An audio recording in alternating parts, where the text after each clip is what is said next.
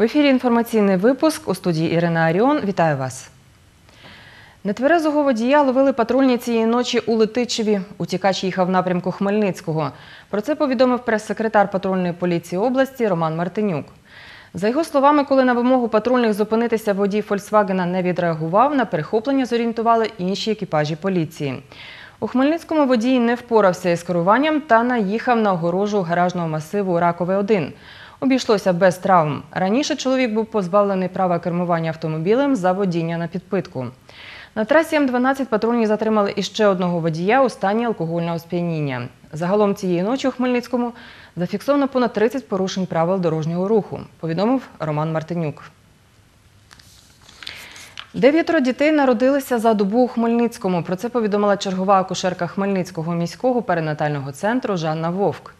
За її словами, серед новонароджених п'ятеро хлопців і четверо дівчат.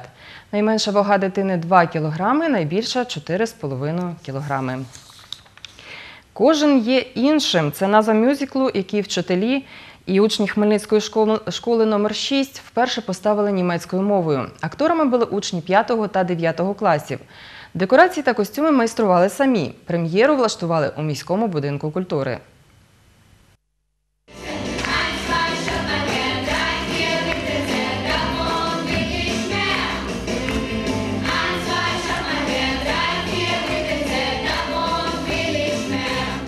Музична частина мюзиклу в нас е, розпочала свою роботу починаючи з лютого місяця. Ми працювали окремо по класам, вибирали дітей, працювали з хоровою частиною програми і е, ставили хореографічні постановки для дітей. Е, Їм подобається дуже виступати на сцені, їм подобається сама атмосфера, весь цей позитив, і вони гарно справляються з усіма завданнями, які я їм ставлю. Мистецький фестиваль «Арт-колаж 2018 сьогодні відкриють в обласному художньому музеї. Він триватиме три дні. Цьогоріч разом із музейниками до організації фесту долучилася обласна спілка вірменської національної культури «Арарат». Відкриє арт-колаж виставка картин українського художника вірменського походження Бориса Єліазаряна.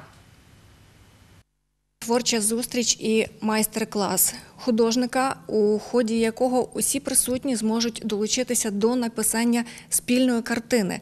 Потім художник її допрацює, і вона стане частиною музейної колекції.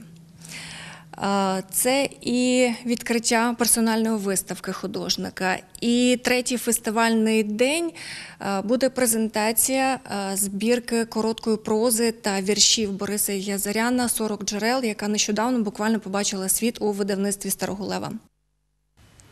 Два футбольних майданчики зі штучним покриттям, глядацькими трибунами і освітленням сьогодні відкриють у Хмельницькій дитячо-юнацькій спортивній школі номер 1 Розміри майданчиків 42 на 22 метри, повідомив директор спортивної школи Василь Янків.